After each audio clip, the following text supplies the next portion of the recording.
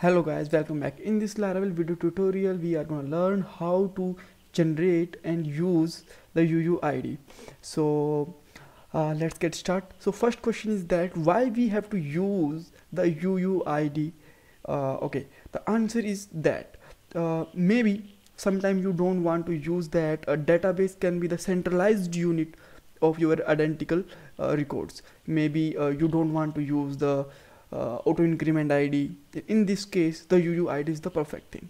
And the second second thing is that uh, sometimes multiple components is generating the uh, your identification in the database.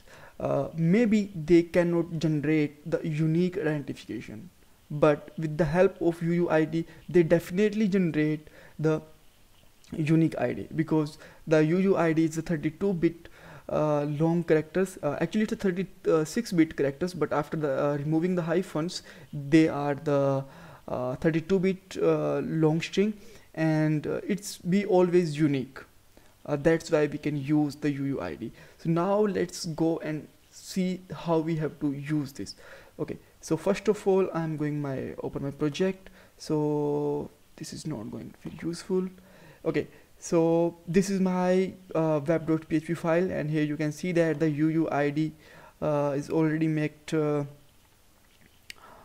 control uh, router. So if i'm going here then you will see that uuid will be here.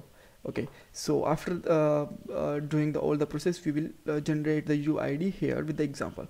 Okay. So now let's go to the chrome browser and just search here webpatser laravel uuid this is the uh, package and actually it's a great package to uh, that will fulfill your all the requirement uh, regarding the uuid uh, so just open it. And you can see that there are lots of things that uh, we have to use. Okay so i'm going to just start with the installing the composer.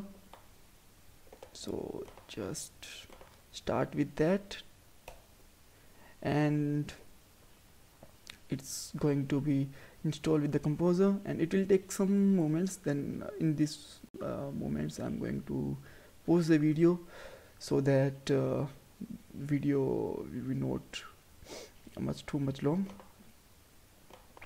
So now you can see that uh, the webpatser uh, laravel uuid is uh, installed with the composer. So now we can start the use with it so for that uh, for once that is installed or not this you can open your um, composer file. Then just go to the composer.json and you can see that uh, this is installed here with the 33.0 version. Alright. And after that uh, you can use this uuid uh, scope resolution method with the generate. Okay but with that you have to use one more thing because uh, you have to import the webpatser also. So uh, I'm going to just here and you can just use the print r.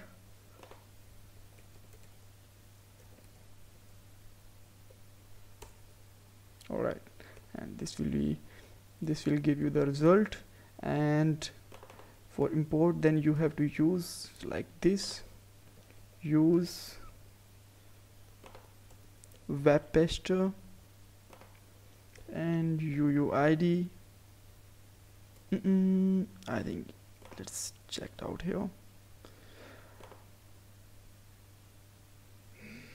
It's uuid then uuid and one once more uuid with the semicolon. And now let's see the output here. And you can see that we got the id here with the full path. So let's say if you want to just use the string then you can use the string function with that. Then it will it will provide the output with a simply string.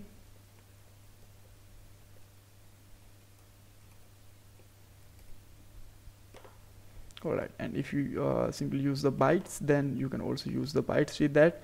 Even if you see here you will see the bytes function here bytes function is also a very good way to store in the database it's uh, pretty fast to the string.